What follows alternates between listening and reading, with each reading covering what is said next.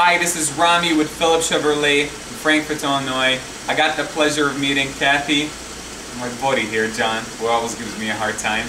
They came in and purchased a brand new 2016 Chevy Traverse. They were actually a referral to me from a good customer and a good friend of mine. Um, thank you guys so much for your business. Really, I really Oh, appreciate you. it. I really appreciate it. It's been a wonderful experience. How was your experience? I was going to ask Wonderful, you. absolutely wonderful. I mean, you're the best. Thank you so much. You're the best, John. You're the best. How's the Traverse? Excited about it? Yes, very excited. Awesome. Well, thank you so much. Congratulations to you. Thank you. Guys, come take a brand new Traverse like John and Kathy. Come see us at Phillips Chevrolet in uh, Frankfort location. And thank you so much for watching.